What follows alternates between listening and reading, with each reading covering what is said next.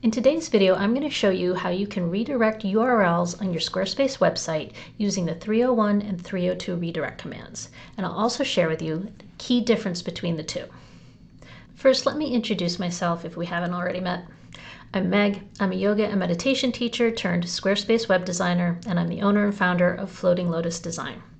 I'm here to help you elevate your wellness website and business without the tech overwhelm. So let's dive in. So what's a 301 or 302 redirect? Simply put, they're just a way of remapping URL addresses. So when you look in the search bar or the address line of your browser and you see a URL link, that's basically is what it is. It's an address. And sometimes those addresses move for a variety of reasons. And you need to tell search engines and your website backend where to redirect that traffic what's its new address? So with a 301 or 302 redirect, we're simply saying, hey, this URL is no longer the URL I want you to work. When you click this URL, I actually want it to go over to this URL. It's just a quick redirection from point A to point B without breaking things, without causing a lot of errors. Now, the key difference between a 301 or a 302 is this. A 301 should be used for permanent changes, and a 302 is used for temporary changes. That is the most important thing you need to remember about the two. So, if you think of it this way, so say you, go back to that blog post example. Maybe you have an old blog post that you've deleted and you don't want anybody going to that anymore, but you have tons of links out there in social media or other places linking to that blog. And you've redone the blog post and renamed it something else. So instead of having that link now being broken because you've deleted that page and people getting a 404 error when they visit, if you go into your site and you set up a 301 redirect command saying, this old blog post, if somebody clicks on a link with this URL address for it, I want you to take them to this URL address for it. So you're simply redirecting traffic and you're telling the search engines how to handle it. With a 302, it's a temporary situation. An example of when you might want to use that is say you have a temporary sales page that you want to have up and you want to take it down from time to time. So that way, when you take it down, you can say, okay, this is no longer active. So once I take it down, just go to my home page if somebody happens to click on that link while it's out there somewhere else. So it's something that might you might reactivate it from time to time.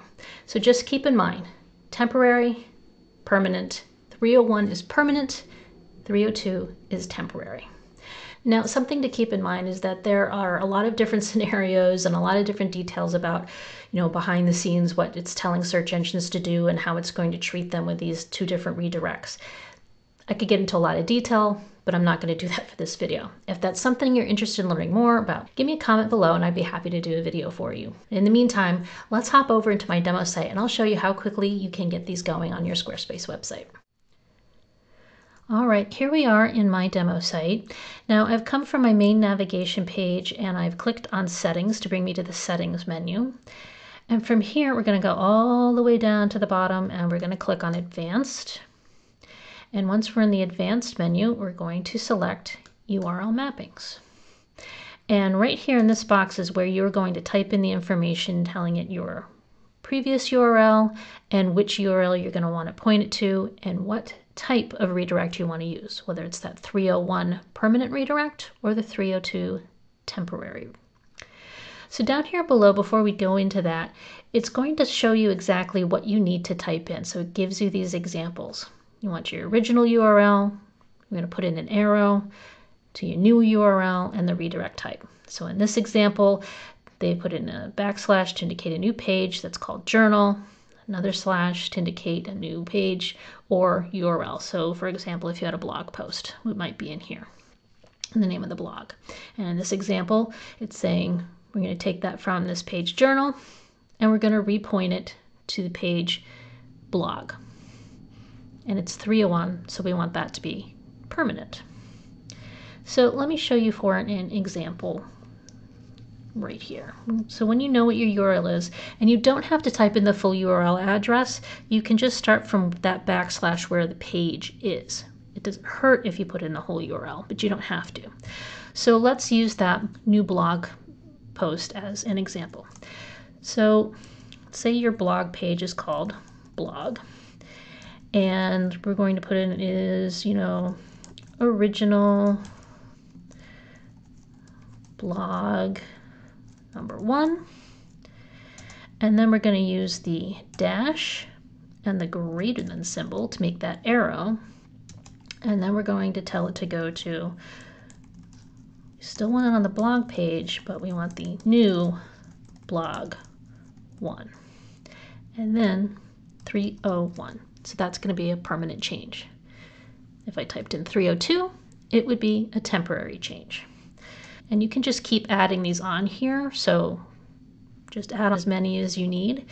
But if you're going to do a 302, it's the same exact thing. You're just going to type 302. So let's give this a shot and say you're going to use the sales page. So maybe that sales page currently exists on your services page. So it's currently on services sale. Making this super simple for you right and so that sale's no longer on. You don't want that sales page um, to come to that landing page. So now i'm just going to say i just want this to come just to my services page. And you're saying now i just want you to go to services. 302 so it's temporary.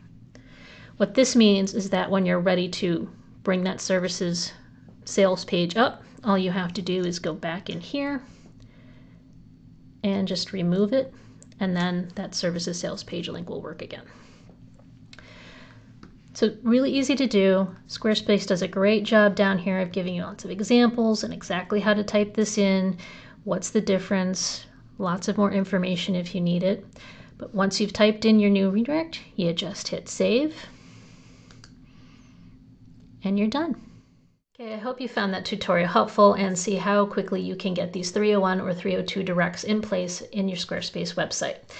No need to have any broken links or out-of-date URLs sending people to far and distant places on the internet or worse, to an error page. If you like what you see here, do me a favor, hit the like button or subscribe if you'd like to see some more content from me in the future. I really appreciate your support and your feedback. And be sure to check out my description for links to some great free resources and tools that I use that'll be helpful for you in your wellness business and your website. Thanks again, and see you again soon.